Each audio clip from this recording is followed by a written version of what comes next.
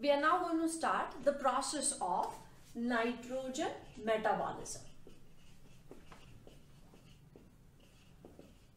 Nitrogen is uh, one of the most important constituents of uh, proteins, then uh, DNA, RNA that is nucleic acids, ATP molecules and it is absorbed only by plants in certain usable forms. So that is why this uh, metabolism of nitrogen becomes very essential or important thing. We will discuss this under various steps. The first that we are talking about is nitrogen cycle. Let us first understand how this movement of nitrogen takes place between the living and the non-living uh, world and then we will take up individual uh, steps in detail. We know that the source of nitrogen is atmosphere. So we write it as atmospheric nitrogen. This is molecular nitrogen. And molecular nitrogen cannot be used in this form. It has to be converted into some usable forms. So these usable forms are three one we write as ammonia. Actually it is ammonium ion which then gets converted into nitrites and then nitrates. These three are the usable forms. So this represents the usable forms of nitrogen and this is the source. These three Ammonium ion can be taken by the plants or absorbed by the plants. Nitrites can be absorbed and nitrates can also be absorbed by the plants. Now how is this atmospheric nitrogen converted into these usable forms? One process is known as biological nitrogen fixation. And as it includes the term bio, that means it is helped by certain microbes. The second is atmospheric fixation or let us first write this one. This is industrial fixation and the third one is atmospheric fixation.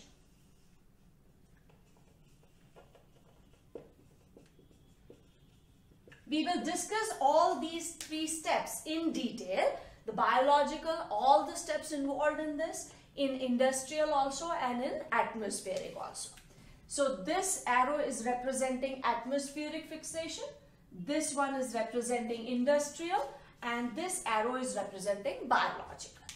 By biological fixation, this atmospheric nitrogen would get converted into ammonium ion. First ammonia and then ammonium ion. By industrial fixation, it gets converted into urea first that dissociates to give ammonia. By atmospheric fixation, it is converted into oxides of nitrogen. Now, these forms, as we said, are the usable forms. So, these forms are taken by plants, absorbed by plants. And from plants, these would be taken by the animals in the form of food. So when animals eat plants, plants have converted that nitrogen into amino acids, proteins and those proteins have reached the animals now. Both plants and animals after their death and decay by decaying bacteria. This process is helped again by certain microbes which are kept under the category of decaying bacteria. They convert the proteins or whichever biomolecule has nitrogen again into this usable form and this process is known as ammonification. So by the process of ammonification, all that dead material is converted into again ammonia. One more thing which we can add here is animals excrete urea. Urea, the process is excretion and this urea is also converted into ammonia. So again it is ammonification. So after death and decomposition of plants and animals, again it would come into, that nitrogen would come into usable form. In this much part of the cycle, what we have talked about is taking in of nitrogen. How is this nitrogen given back? Because we are talking of nitrogen cycle and cycle means it has to move continuously between living and non-living. So, there are certain bacteria which convert every form of nitrogen into free molecular nitrogen. The process is known as denitrification and it is done by denitrifying bacteria. Denitrifying bacteria like Pseudomonas. So they would convert all fixed forms of nitrogen. It can be from any fixed form. It can be from protein, it can be from ammonia or urea or anywhere into free atmospheric nitrogen. So this is the only step by which all the nitrogen is going to go back into the atmosphere. Now let us take these fixations in uh, short. We will be talking about atmospheric in detail, industrial in detail and biological fixation in more detail because this is a very uh, lengthy process. So let us take these fixations step by step. First, atmospheric fixation. As the name tells us, atmospheric fixation, that means it is taking place in the atmosphere. And it takes place at the upper level where molecular nitrogen reacts with molecular oxygen in presence of UV rays and lightning. So these are the conditions where nitrogen, molecular nitrogen and oxygen can combine to form oxides of nitrogen. Then these oxides they combine with water to form nitrite and nitrate. These nitrite and nitrate can further react with water to form nitrous acid or nitric acid. So this can change into HNO2 that is nitrous acid and this can change into HNO3 with the help of its reaction with water.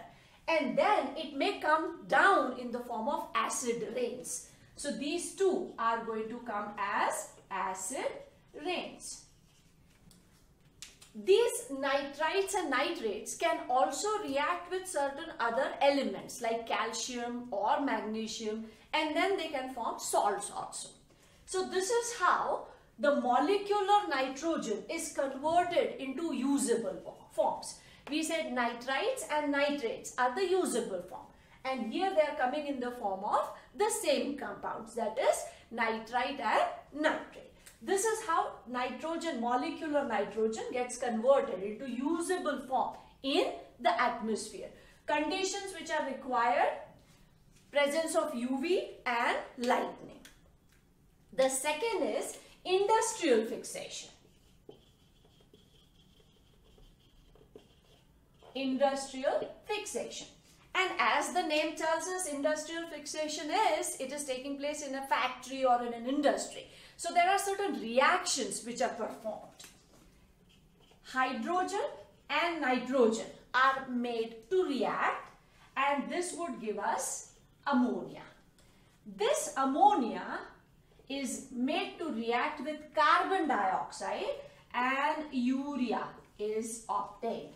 And this urea is supplied to the plant in the form of fertilizers. When urea is added into the soil, it dissociates to give ammonium ions. So that means by industrial fixation again, this molecular nitrogen though it is converted into urea but again it will come in the form of ammonium ion because this urea would dissociate to give ammonium ion and that can be absorbed by the plant. The third one is biological fixation and biological fixation is with the help of microbes like rhizobium and there are multiple steps which are involved. First, the rhizobium is going to infect the plant. Which plant? That is also important. We know it is a leguminous plant. Plus, we will take some more examples. After it has infected, then the nodule formation takes place. Then the reaction where the molecular nitrogen is converted into ammonia. Then further ammonia into usable form. So the third one that is biological fixation. We will discuss this in detail in the next segment but we just know that this is with the help of microbes like rhizobia. And there are multiple steps involved in this process. So this is the one which we will be discussing in detail uh, from the next segment, from the next video. But what exactly we have understood is that atmosphere is the source of molecular nitrogen. It has to be converted into usable form so that plants can use it. Only plants can absorb nitrogen directly. And from plants, along with the food material which they synthesize, it is passed on to us, that is animals. After death and decay, again with the help of bacteria, it would be uh, converted into the same usable form. It will come into the soil. Plus, there has to be a process to return this into its source, that is atmosphere. And that is done by only one process, which is known as denitrification. Three ways in which nitrogen can be converted into usable form. One is atmospheric fixation, industrial fixation and biological. Atmospheric conditions required are UV rays and lightning. It gets converted into nitrites and nitrates which come to the soil.